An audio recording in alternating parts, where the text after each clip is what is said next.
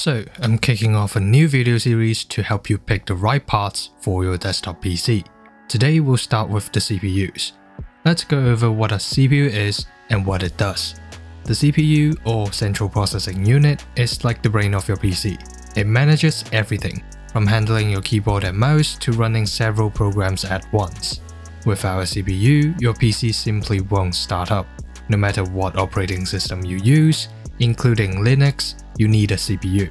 Now, let's figure out which CPU fits your needs. I'll cover three main uses, light tasks, gaming, and heavy productivity. For lighter tasks such as internet browsing, word processing, or watching Nexify's videos on YouTube, any dual-core or quad-core CPUs manufactured in the past 10 years should have sufficient processing power to handle them, especially Intel CPUs, they usually offer more comprehensive video codecs than AMD's non-APU processors.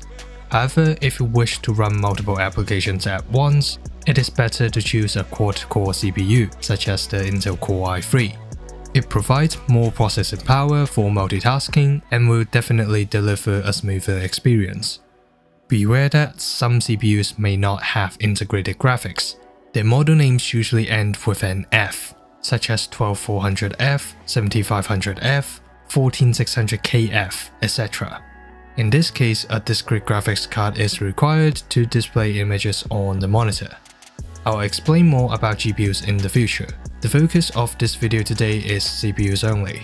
Let's move on to something that concerns most of you here, gaming.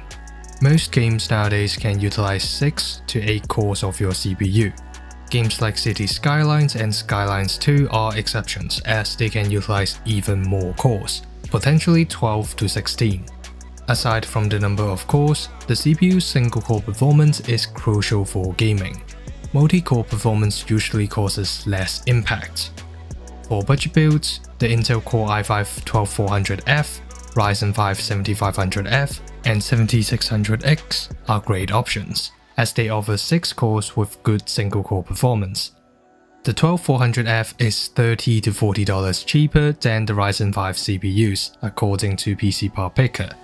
However, the 7500F and 7600X are stronger in gaming due to better single-core performance and still have an upgrade path on the AM5 platform until at least 2027. As for mid-range picks, the 9600X is the best option right now because it costs $100 less while offering gaming performance similar to the Ryzen 7 9700X. There's no competition in this price range. How about a CPU that can handle both productivity and gaming without breaking the bank? At the $300 price range, the Intel Core Ultra 7 265K is an excellent option, especially for content creation as it isn't that far behind the flagship Ultra 9 285K in gaming, while costing a fraction of the price. It isn't the strongest, but it sure offers the best value among the productivity chips. How about the 9700X? I mean, it is not about CPU at all, but at that price range, the 265K is just superior in terms of value for its gaming and productivity performance. Before we get into the flagship CPUs, let's talk about the 9800X3D. It's the strongest gaming CPU at the moment, but I would rather buy a 9600X and use that $270 towards a better GPU, RAM or even aesthetics. As I've mentioned in previous videos, unless you only play CPU intensive games like CS2, Valorant, or online multiplayer games, it's better to spend more on the GPU so that you can game at 1440p or even 4K. The FPS increase from a better GPU is always larger than getting a better CPU. If you really really want an X3D chip, the 7800X3D is a solid alternative, costing $80 less than the 9800X3D while still beating every Intel chip in gaming. For flagship CPUs, they're great at heavy productivity. I would personally go for the 9950X and 9950X3D only. The 285K from Intel is better at some productivity work, such as video editing, but it is absolutely nowhere near the Ryzen 9 CPUs in gaming, especially the X3D variant.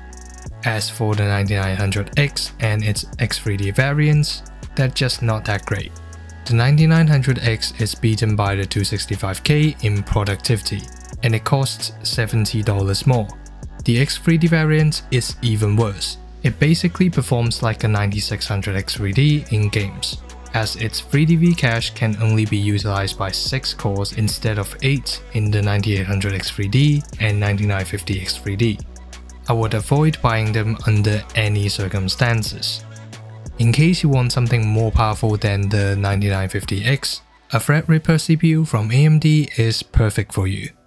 For any of you here seeking for an upgrade, if you are currently using the Intel Core i5, i7 or i9 CPUs from the 12th to 14th generation, you do not have to upgrade your CPU.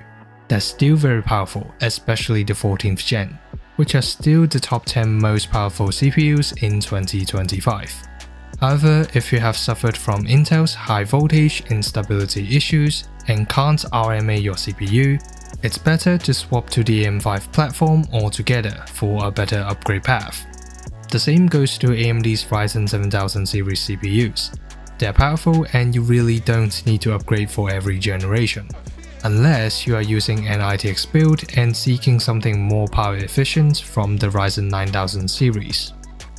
Hope you found this video helpful. Don't forget to leave a like and comment down below to let me know which CPU you are currently using or planning to buy. By the way, only 0.6% of you guys are actually subscribed. Make sure you hit that subscribe button before you watch this video of how to overclock Nvidia's 50 series GPUs.